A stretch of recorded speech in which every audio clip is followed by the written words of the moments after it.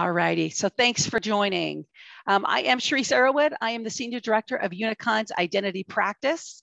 Um, today, I am joined with Mike Grady, Jonathan Johnson, and Paul Spaude, who are all identity specialists with Unicon.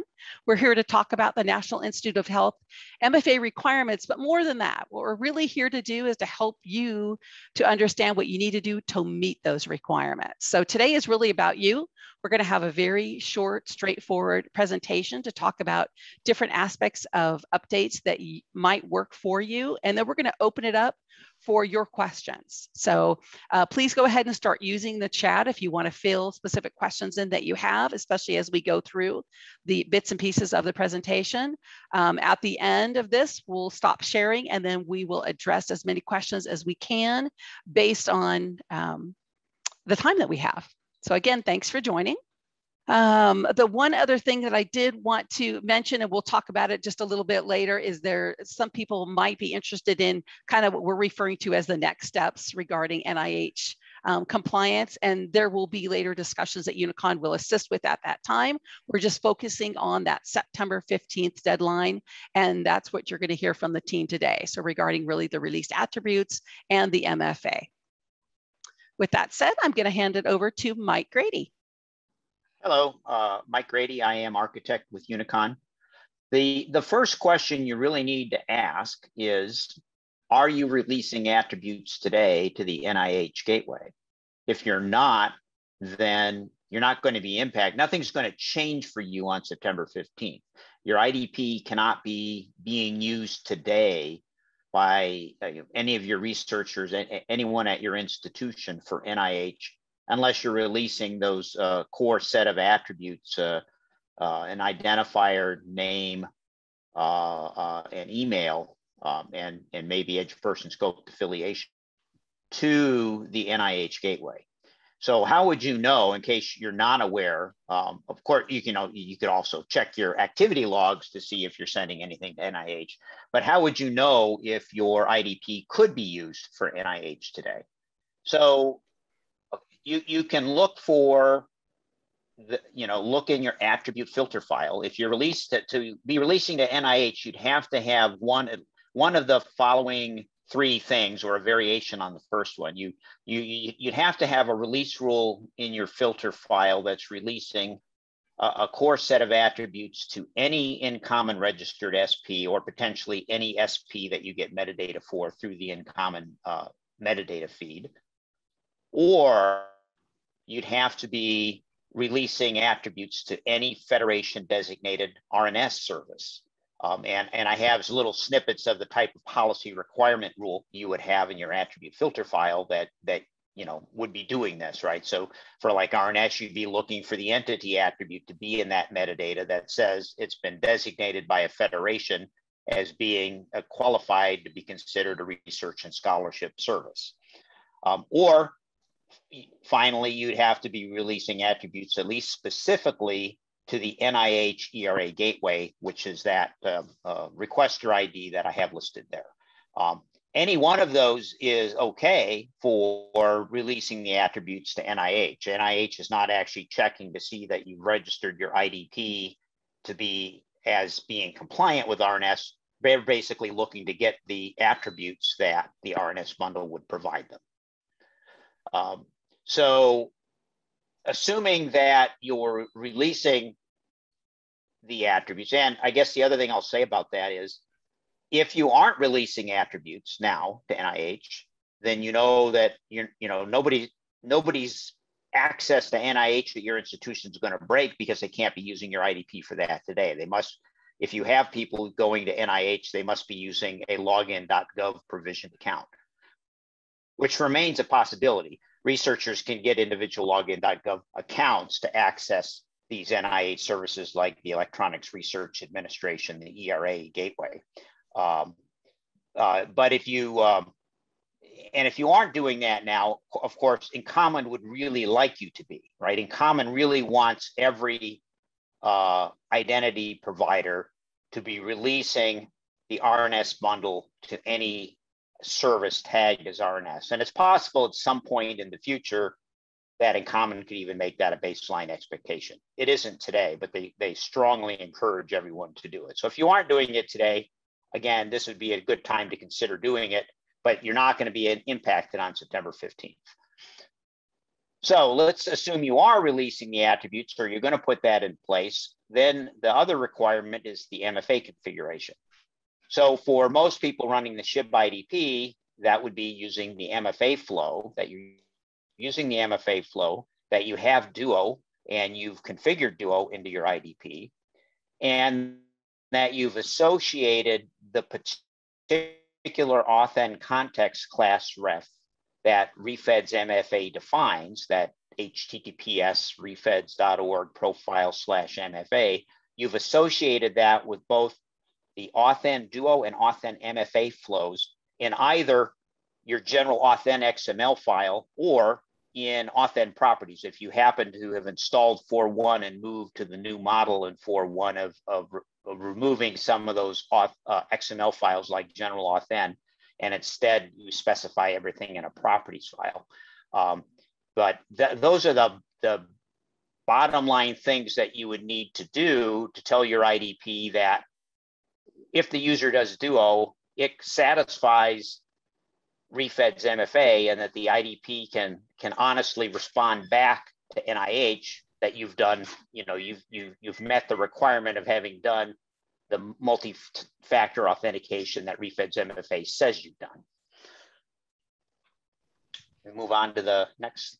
So the other possibility, if, if you're not, if you don't have authentication being done by your IDP, but you're delegating authentication from your IDP to Azure AD, which became an uh, you know fairly easy option as of SHIB IDP 4 to delegate authentication to another SAML IDP, uh, then what you need to do for Azure AD specifically is documented in the SHIB wiki at, at the link that we have in the slide. Um, Chris Phillips and the Canadian Access Federation wrote up a really nice guideline for configuring your IDP to defer authentication to Azure AD. And one of the optional tasks it lists is how you, you, you set it up to, to qualify, you know, to satisfy refeds MFA.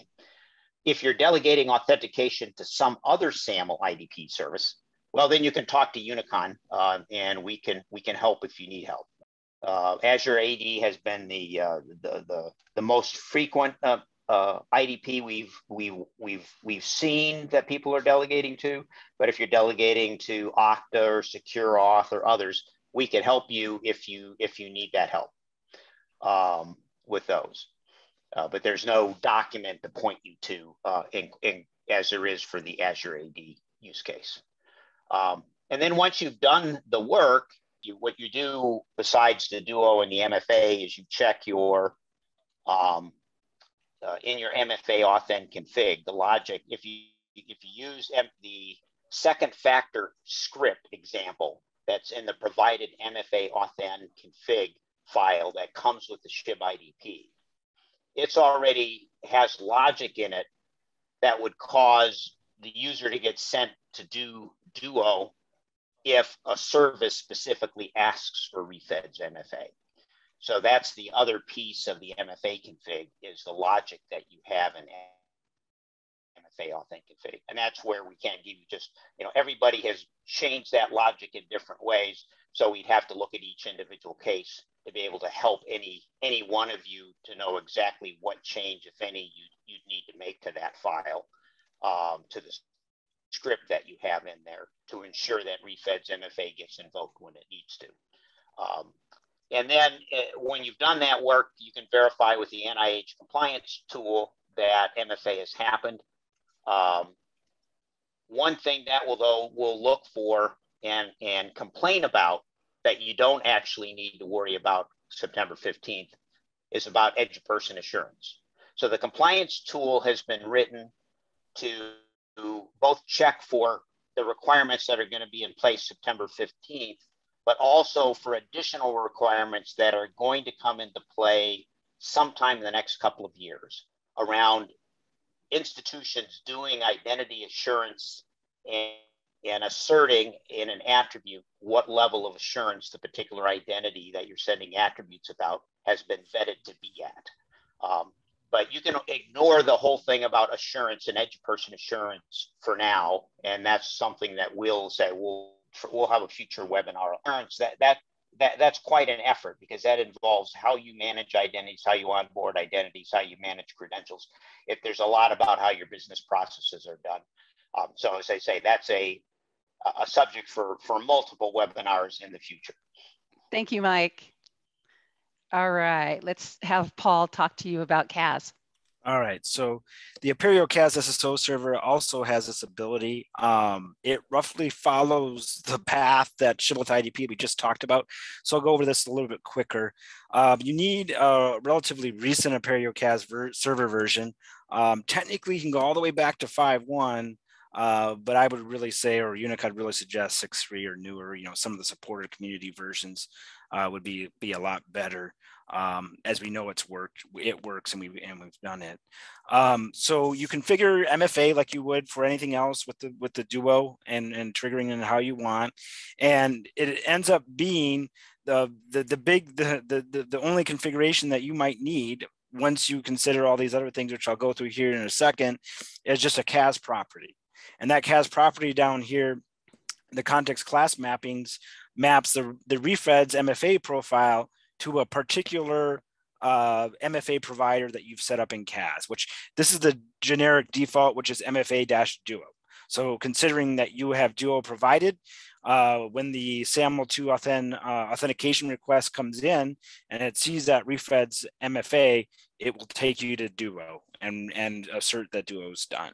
Um, so that's kind of the magic there, just requires one CAS property change. This is the format for 6.3 or newer. Um, partly 6.2, um, you would have to camel case that uh, uh, authentication context class mappings. So do check the docs for your CAS server version because the configuration might change a little bit.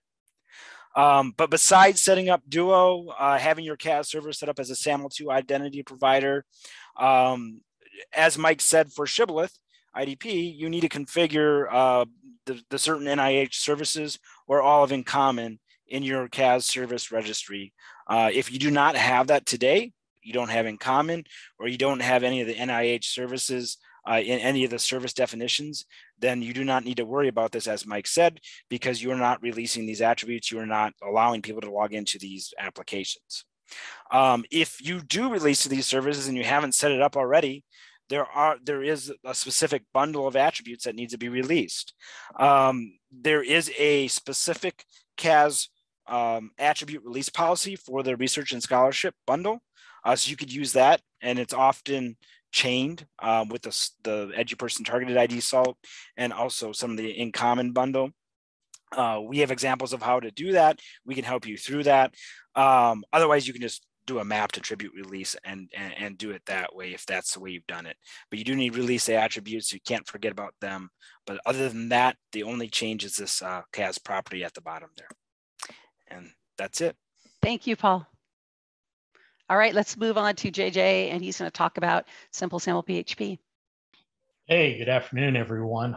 The great thing about being the last speaker is everyone's already said everything that needs to be said, or at least a lot of what needs to be said.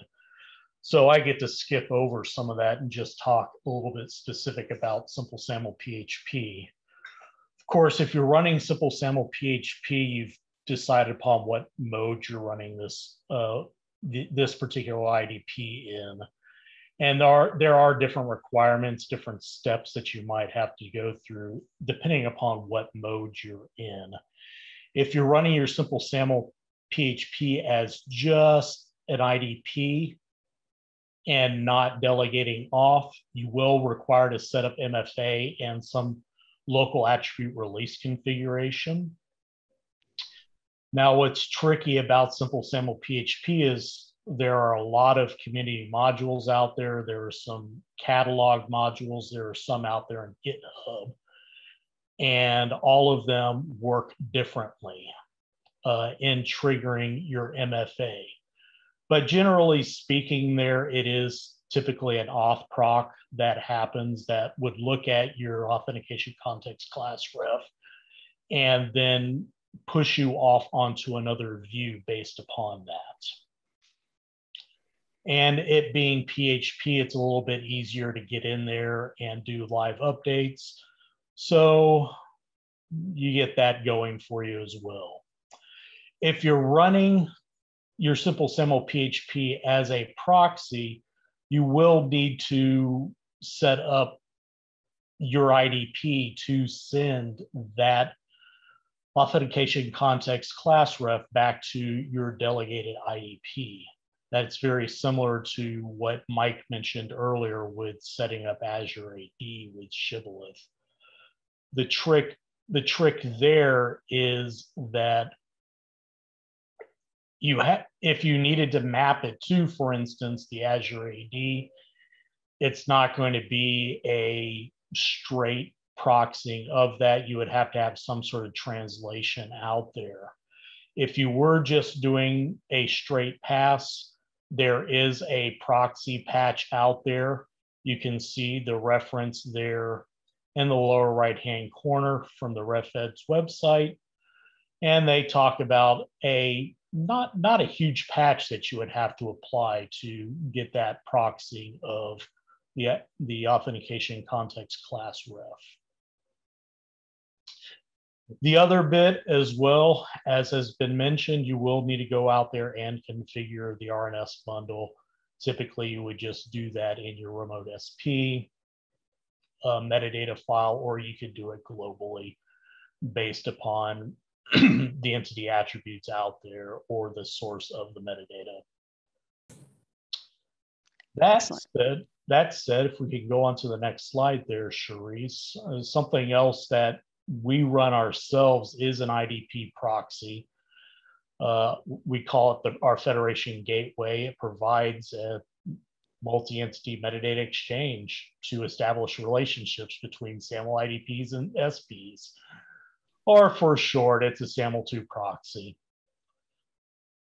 We will be shortly updating, making sure that our Federation Gateway does support the proxying of that ACCR.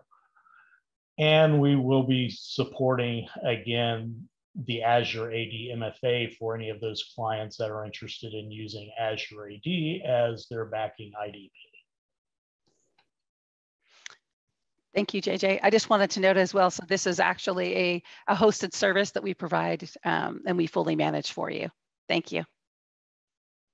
Uh, so just a little bit before we get to those questions, um, as has been mentioned throughout the session today, we plan on doing several of these. Uh, we all know that there's additional NIH requirements that will be coming down the road, and we'll be doing this type of session. We're interested in your feedback, uh, but it looks like we got some initial really good uh, response to some of the Q&A, just getting to the point and helping you with next steps. Obviously, if you have things that are a little bit more complex or you want hands-on consulting, Unicon can always help. Reach out to sales at unicon.net. The other item I really wanted to mention I'm sure a lot of you have noticed that many government branches are ranking security very high on their priority list from many perspectives. We're really focusing in on those branches where higher education will be affected. And as that comes down and is something that really needs to to require updates in configuration, we will also um, provide additional content on our website, as well as possibly hold additional webinars to help you through those. All right, so with that said, we're gonna go into the question and answer portion.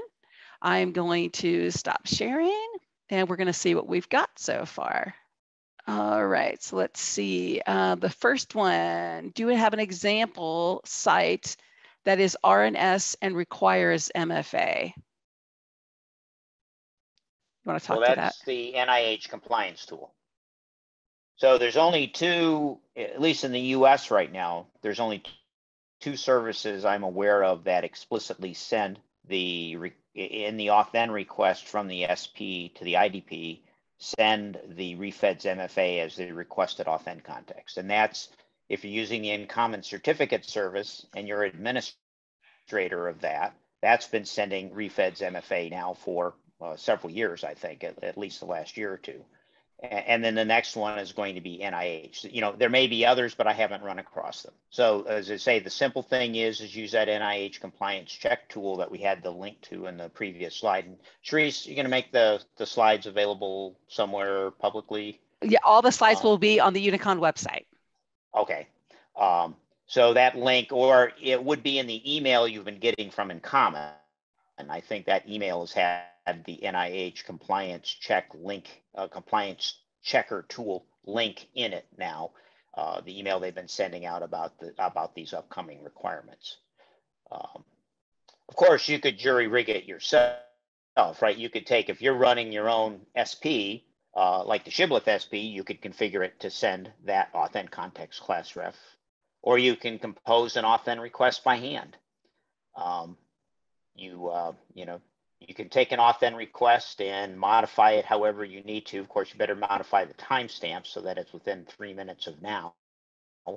And you can use some online tools that will uh, deflate and encode the XML and then encode the URL and, and, and send a, uh, a redirect authent request just so that the service had sent it, but with refeds MFA as the requested authent context class. So you could do it that way, but you know, the easiest thing is use the uh, NIH compliance tool checker. Excellent. Thanks, Mike. And there's Paul posted a few uh, links as well for reference. So you might want to check that out. Uh, let's see. Uh, we've got another one. If using Shib CAS Authn, is this the correct resource? If you guys can just take a look over there at the GitHub uh, link that Jonathan Taylor has posted and respond to that. Yeah, I can probably take that one since great. Thanks, Paul. It. Yeah, I've been working with ShibCAS Authn lately. Um, that is the correct link, and that is the latest correct documentation. Uh, that should work for Shibboleth versions 3, 4, uh, X, 4X, 41X, um, and uh, hopefully in the future as well. But we'll we'll keep on top of it for you uh, and make new releases as needed. But uh, that should be up to date for the relatively recent versions of the IDP. Excellent. Thanks, Paul. Uh, let's see. Uh, thank you, Dwight from the University of California, Riverside. He was proactive and sent us a question in with his registration. Let's see. He said, most of our staff and faculty use login.gov. It seems as if this bypasses the need to worry about the requirement. And that's correct. I don't know, team, if you have anything else that you want to add to that. Yeah, that is correct. That just means, right, you're, and that's been an option for NIH for well, however long login.gov's been around, there always was a, a, way to get accounts specific to NIH.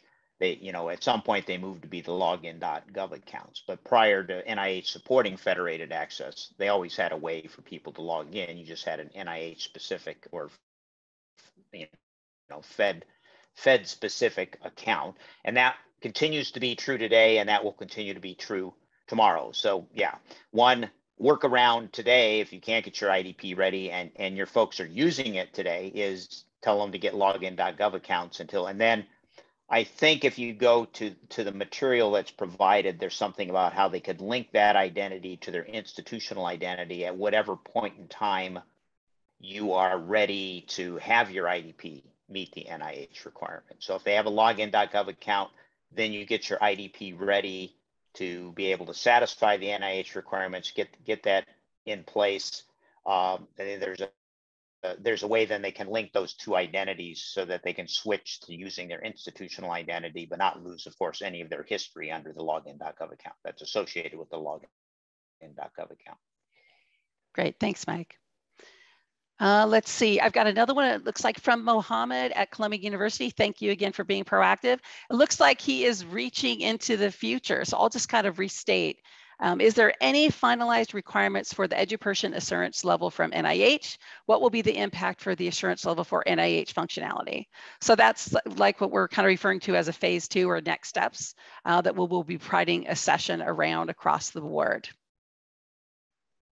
Yeah, I mean, uh, you know, if you look at the InCommon materials on NIH assurance, it talks about that one should expect that if not before that, by 2022 to 2023, some of the NIH services will start looking for various levels of assurance. Some may require a higher level of assurance than others. I, I don't know that I don't know that there's anything finalized about that the bottom line is as an institution you need to start thinking about it and looking at it because it is going to come um, and it's probably going to come in the form of you know federal government services first nih is starting it but one should expect that it's not unlikely that nsf uh, you know other big granting agencies in the federal government like nsf et cetera might start requiring that also.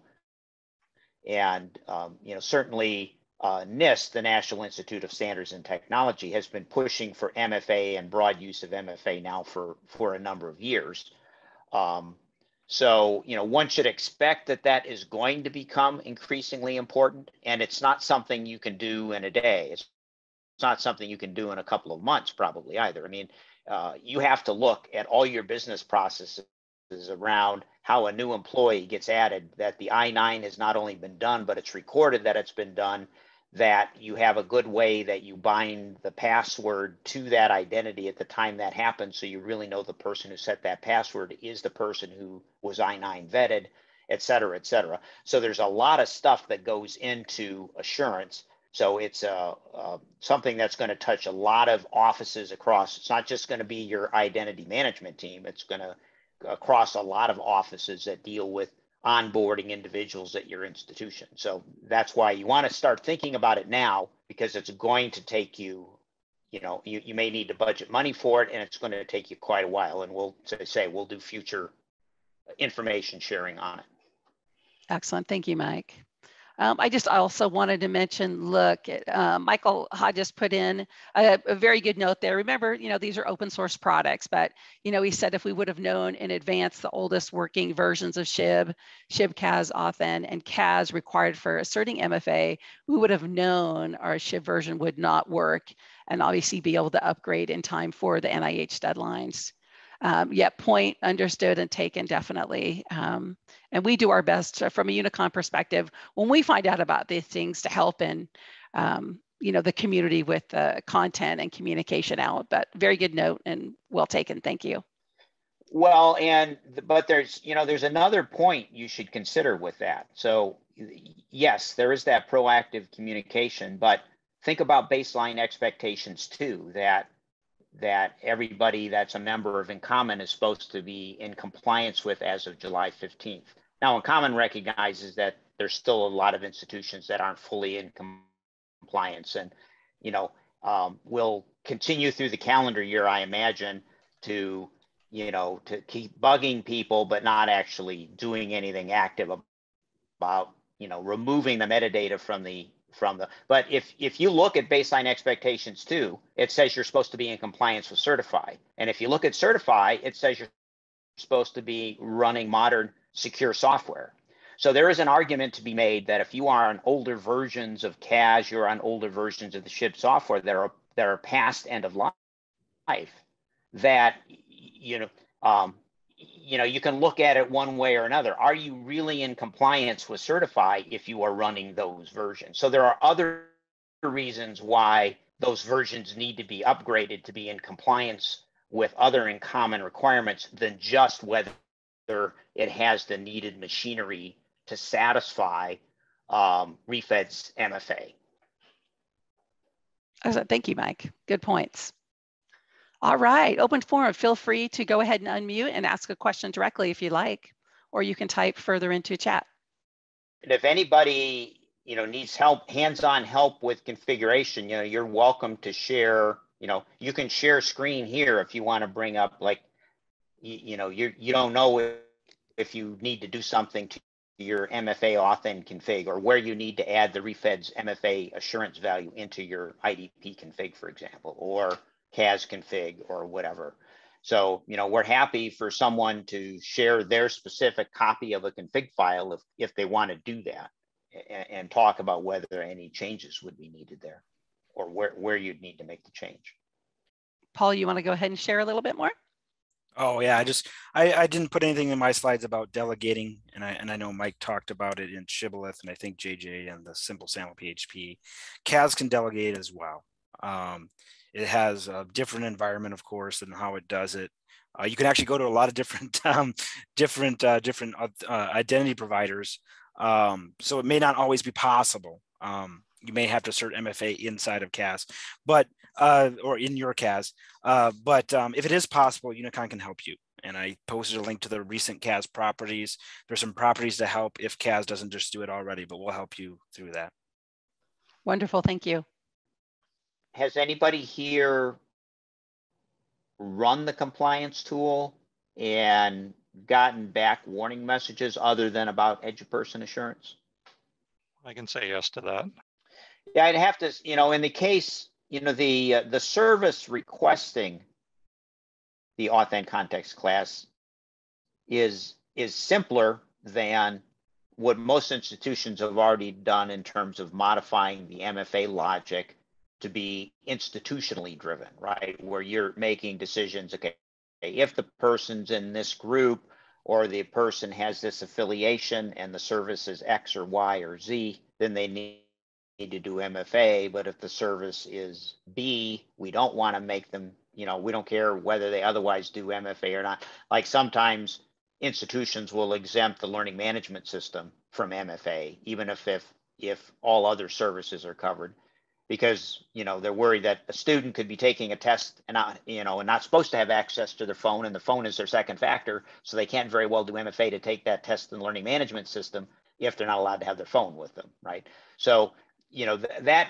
is the, the sort of thing that you, you end up having to make you know uh, more significant changes to the MFA authn config logic in the SHIB IDP and maybe more significant changes to the authn context class refs that you have associated with SPs and the relying party override file. Um, you don't have to worry about any of that with NIH asking for refeds MFA because the IDP will just the IDP essentially is written to do the right thing and and um, uh, with that and unless you've you've made more changes to the mfa logic than normal in the idp the idp it you know and you've only associated refeds mfa like with duo then there's there's no way the idp is going to be willing to respond back to the service with a successful saml response unless it thinks that person has done duo. So uh, you, you don't you don't get into as complex of logic for when you know that you need for when you want to drive the decision within the IDP as to when duo duo has or do, MFA has to happen. Good addition, Mike. Thank you. The other thing I'll say about assurance, since we aren't getting any questions around MFA, and we the one thing is is you could set up if you're not already releasing EduPerson assurance, you could set that up in your IDP or CAS server or whatever, and, and basically have the static. There's a base value for it that basically says, hey, I'm starting to put in place the machinery for, for, for asserting the assurance attribute. And there's this base value for that InCommon list that basically says, I support sending the attribute, but I'm not telling you any, I, I don't know anything about the assurance level of this individual at the moment. Um, so you can put in place the machinery for, for releasing the attribute and give it that base value, even defining it as a static attribute value, you know, kind of hard coded in the IDP to send for now until you have the business processes in place to decide that, or you've, you've had the time to vet your business processes to decide, you know, for whom you can have, you know, assert additional values that actually say something, you know, uh, more about the assurance level of the individual. Uh, so that's that's one thing you could do now is to put in that you know that core just base level of of asserting that kind of hard coded value that says, hey, we support giving you an attribute, but we we we don't yet um, have a richer set of values to give you. Thanks, Mike. Okay, as mentioned, this recording will be on the Unicon website, unicon.net. Um, so you'll have all this information to share maybe with your other team members or obviously with others that were not able to make it today.